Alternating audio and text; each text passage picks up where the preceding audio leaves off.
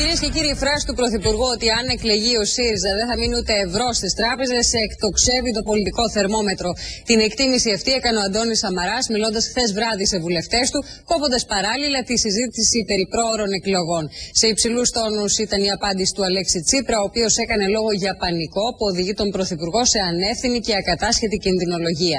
Το πολιτικό σκηνικό έχει πάρει φωτιά. Σε λίγο θα δούμε και τι ισορροπίες διαμορφώνουν και τι ανατροπές πυροδοτούν οι εξελίξεις των τελευταίων εβδομάδων στην πρώτη δημοσκόπηση του Πανεπιστημίου Μακεδονία για τη νέα τηλεοπτική σεζόν. Πάμε πρώτα να παρακολουθήσουμε το ρεπορτάζ. Στο πρώτο τετατέ του Πρωθυπουργού με τους βουλευτές τους στο εντευκτήριο της Βουλής, μετά από μια περίοδο έντονων τριβών στο εσωτερικό της κοινοβουλευτικής ομάδας με αφορμή τον έμφυα, ο Αντώνης Σαμαράς έστρεψε τα βέλη του ευθέως κατά του Αλέξη Τσίπρα, ανεβάζοντας το κόκκινο την αντιπαράθεση με την αξιωματική αντιπολίτευση δύο ημέρες μετά τις εξαγγελίες ΣΥΡΙΖΑ στη Θεσσαλονίκη. Εάν δοθεί στον Αλέξη Τσίπρα η ευκαιρία να κυβερνήσει, που δεν θα του δοθεί, στις ελληνικές τράπεζες δεν θα μείνει ούτε ένα ευρώ. Λίγες ώρες αργότερα, κατά τη διάρκεια σύσκεψης στην Κουμουνδούρου, ο Αλέξης Τσίπρας πέρασε στην αντεπίδεση. Ο Πρωθυπουργός βρίσκεται σε πανικό που τον οδηγεί σε ανεύθυνη και κατάσχετη κινδυνολογία. Ο ρόλος του Πρωθυπουργού απαιτεί αίσθηση ευθύνης και όχι ανεύθυνες παρεμβάσεις στο καφενείο της Βουλής. Μιλούν για πανικό την ώρα που έντρομοι διαπιστώνουν πως κανείς πια δεν πιστεύει στο λεφτά υπάρχουν. Επιδίδονται σε διαρροές για παρεμβάσεις στο καφενείο της Βουλής την ώρα που βομβαρδίζουν το λαό με προτάσεις καφενείου. Δεν έχω την παραμικρή αμβολία. Μα δεν έχω μέσα μου ούτε αμφιβολία μία στο το χιλιοστό.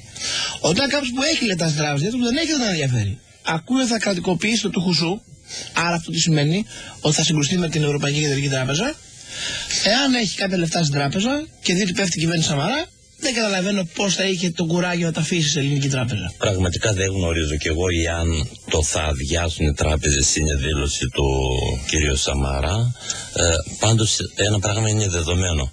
Ότι οι τράπεζες πέρα από δηλώσεις κλπ. έχουν αδειάσει με τη διαδικασία την οποία ακολούθησαν οι προηγούμενες κυβερνήσεις. Αποστάσεις πάντως από τη θέση του Αντώνη Σαμαρά φαίνεται να κρατά το Πασόκ. Αυτό είναι μια πολιτική εκτίμηση που κάνει ο Πρωθυπουργός και αξίζει κανείς να την πάρει υπόψη του. Δεν την κάνει ένας τυχαίος πολίτης ε, και για να το λέει αυτό ε, κάτι θα ξέρω. Εγώ δεν θα απαντήσω για λογαριασμό του κυρίου Σαμαρά. Ο Αντώνη Σαμαράς επιχείρησε να κλείσει και το κεφάλαιο εκλογές, στέλνοντας μήνυμα και προς τα γαλάζια στελέχη που ζητούν επίσπευση των διαδικασιών για την εκλογή Προέδρου της Δημοκρατίας. Άκουσε κανείς έξω για εκλογές; Τι είναι αυτό; Όποιος μιλάει σήμερα για εκλογές ή δεν ξέρει από πολιτική ή δεν τον ενδιαφέρει το καλό του τόπου ή τον ενδιαφέρουν δικά του συμφέροντα. Καταλητική πάντως για την κυβέρνηση εξακολουθεί να είναι η έναρξη της συζήτησης για τη διευθέτηση του χρέους. Με τον Γιάννη Μιχελάκη να ρωτά τον Πρωθυπουργό πότε εκτιμά ότι αυτό θα γίνει. Πιστεύω ότι θα γίνει έως το τέλος του χρόνου. Αν γίνει αυτό, τότε πάμε με άλλον αέρα στις εκλογές. Ακόμη και αν είναι πρόορε, με αφορμή τον πρόεδρο της Δημοκρατίας. Ξεχάστε τις εκλογές.